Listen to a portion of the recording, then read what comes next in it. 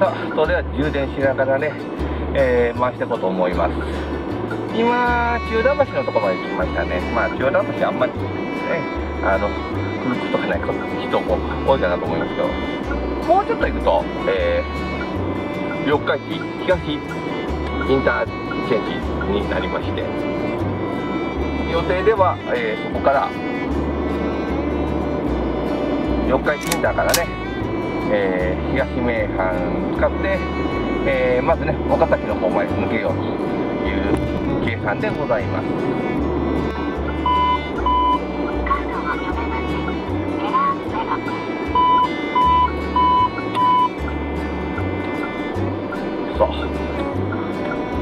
川がなんかエラーが出ちゃって読めなかったんですけどなんとか読めましたよかったよかったで四日市東インターからね乗っていきましょう。さあ高速乗りましたよと。で四日市ジャンクションに入って何も見えないよねこの 角度だと。よいしょ。角度失敗しましたね。そうだね。高速入る前に前にしときゃよかったねあ今四日市ジャンクションを越えて応あれですよね。同級用に。えー、センター試験の思い出とか受験関連のなんか思い出の話でもしましょうか。ね。えー、っていうことで。どうですかね、皆さんはどんな受験生活だったかなというのがね、分かりませんけど、まあ私も一応、高校受験と大学受験とね、えー、受験をしたわけでございます。まあ、あの幸いなことにね、えー、高校は第一志望の学校に行ってで、えー、大学はね、え一応第一志望はね、国公立で出してたんですけど、まあまあまあまあ、自分でもね、そこはまあ、ないにしてもっていうところがあって、え非常に国公立でっていう話だったんですけど、えー、国公立は難しいよなっていうのが正直、えー、学力的にありましたんで。まあ、ですから、え結果的に中京大学ね、入れましたんでね、えー、結構、学力的には十分、あの、万々歳なところではあるんですよ。もともと地頭悪いんでね、うん。そう、いうことで、なんとかね、えー、なりました。で、なんとかなった一番の原因が、実はセンター試験なんですよね。実は、あのー、国教科のセンター試験、5教科で、えー、要は今までの試験の中で模模試とかもね、いろんな、ね、寸大模試とか、えー、伝統模試とかいろんな模試がありますけど今までの模試模試とか含めた、えー、成績の中で一番良かったのが実はセンター試験で。あれはあのー、運が良かったといえば運が良かったですね、あのー、特に生物がね大当たりして一夜漬け山張ってやったところっていうかな、えー、かか山張ってねまあダメ元でと思って、えー、やったところが結構ドンピシャで当たって自己採点でねいつも大体20点とか30点しかいかないのにえっ、ー、とねあの時だけね79点までついたんですよね。だから直前模試なんて19点だったんですよ19点から79点60点アップしたっていうね、えー、すごいあの大躍進を、えー、解けたりもしまして、えー、それもとかもあったおかげでね、えー、ですから多分生物産業科って言って実は社会学部の入学なのに、え国語と、え国語と英語と多分普通は社会科のね、何か、えー、現代現社科、ね、えー、現社科、地理科、ね、えー、そのあたり、歴史科、地歴、ね、歴史科あたりで、えー、3教科にして入るところを、えー、無理やりですね、生物で3教科にしてしまって、何せその生物が79点取れたんで、うん、これあの、文系だったのに、文系の、え、科目よりもいい成績が取れちゃったんで、うん。これでいっちゃおうということでしたね。そう。国公立もですから、鳥取大学の農学部やったらいけるで、みたいな、えー、風な、えー、数字が出ましたね。まあ、農学部は全然興味なかったんであれなんですけど、いや、生物の比率の高い理系の、えーでで生物に比重を置いとるところやったら国公立でもワンチャンあるでっていう、えー、ところまで、えー、言ってましたね。うんあれは本当ラッキーだった。あれのおかげで、なんか、えー、その後の試験もめちゃくちゃサクサクと進んで、うん、正直センター試験は最初がひどかったんですよね。あの、最初っていうのは試験が始まる前。あの、家を出た時に、あの、ご多分に漏れず、センター試験の日雪降ったんですよね。で、家が当時住んどったのが、まあ、集合住宅に住んどったんですけど、えー、階段でね、玄関出て、すぐ目の前が階段、まあ、公団住宅みたいな作りなんですよ。えー、だったんで、家出てすぐ階段で、で、行ってきますって出た、次の瞬間、階段こう取って、家出た瞬間、センター試験の当日に、家の玄関で滑って転んで落ちるっていうね。あれはね、逆に笑いました。うんねえー、気をつけて、ね、絶対に、えー、落ちるとか滑るとか、そんなの絶対ないようにと思っとったのに、まさかの家出て1本目でね、滑って転んで落ちるっていうね。う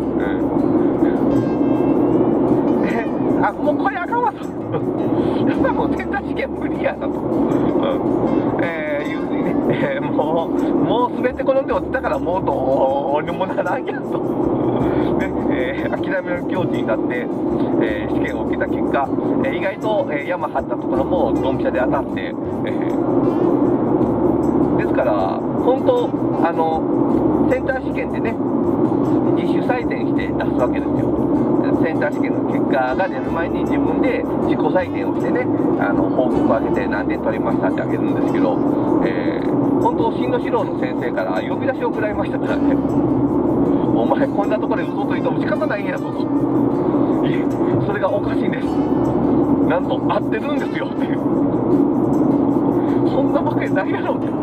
直前もって19点やったやつがなんで79点取れとるんやっつってね、えー、そんなわけはない。嘘をつくんじゃない。お前嘘だけを使う人間やと思っとったのに、えー、なぜか、えー、怒られるというかなんか、えー、嘆かれるというかっていうのがあって。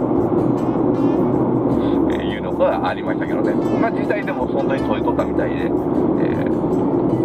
中京大学に入ることができましたよっていう流れです。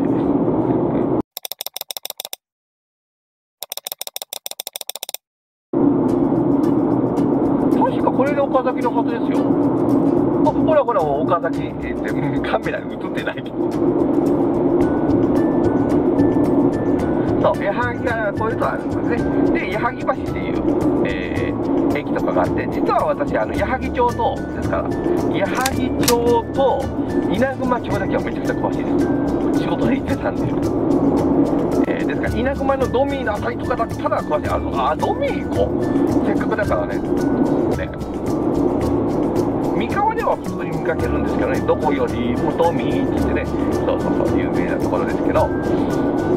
そう名古屋にもあ名古屋にも一応ああるかあるか名古屋にもあるはずだけどそうだなうん。三河のイメージが強いな。うん。せっかくだからドミー行きましょう。ドミーとあそれ青木スーパーで一発単発取っとこう。一回あそこはあそこでこうと思ったんですよねあそうだそれの茶番取っとかないといけないえっ、とね、今から茶番始めます。思い出したように茶番して、とりあえずそこだけやっとこう。えっ、ー、とね、私ね、なんとね、あの、忍者なんですよ。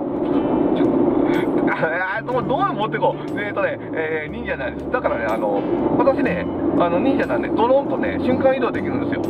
で今ね、岡崎市に入りましたって、えー、言ってますけどね、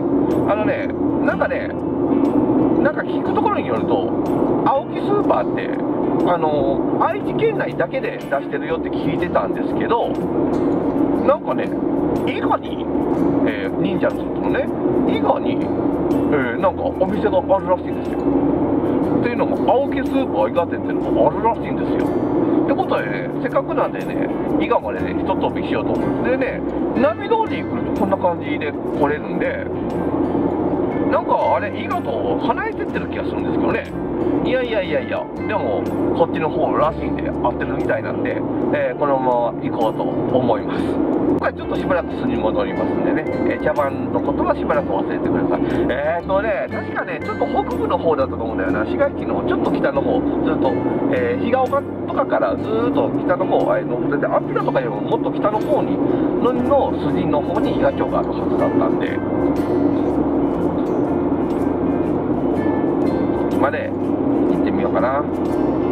ということで、えー、今日はあこれ伊賀川。伊賀川。あ伊賀川って出たからそれもねいやあの瞬間移動できましたよ。ほら。そんなだって伊賀川ってのがね岡崎にあるわけないじゃないですか。だって伊賀ってなってたら伊賀といえばもう三重なんですから。ね。よし。よし。どうかな。ここれぐらいでいいかな。そうちなみに岡崎入ってからね矢作矢作川越えてからねまあまああるんですよね。あちなみに矢作っていうのはこの矢にね作るっていうふうに書いて矢作って呼んでますけどえー、っとあのカンコレの矢作さんとかで有名な、えー、慶順の矢作にも使われてた。この萩っていうこれが旧時代です。もともとですからこの矢作の元になってる川がこの矢作川で合ってますよ。ということですね、まあ、今の字はあれかおぎやはぎの矢作さんと一緒ですよね、えー、そうおぎやはぎさんと一緒のあの矢作さんの矢作になってますよね。そうそう。そうって言ったら岡崎まであと 500m ってなりますまあまあねやっぱあるんですね岡崎のインターって。まあ市街地がね、えー、かなり東区なんですよね。岡崎入ってから。そうだから八幡町に行って仕事してた時も結局ドンキとかえっ、ー、とねあの飯食いに行くのも結局ねカリヤに食いに行ってたイメージが田舎の時はもうがっつり、えー、岡崎堪能しましたけどね